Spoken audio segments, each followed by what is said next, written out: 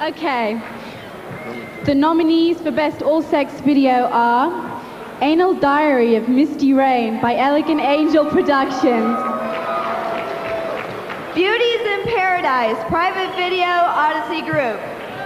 Pussy Man 5 and 6, Snatch Productions. Take It to the Limit 1 and 2, verse 7 Productions. Yeah, I was in that. Virgin's Treasures 1 and 2, Private Video Odyssey Group. And the winner is. Taking it to the limit! One and two!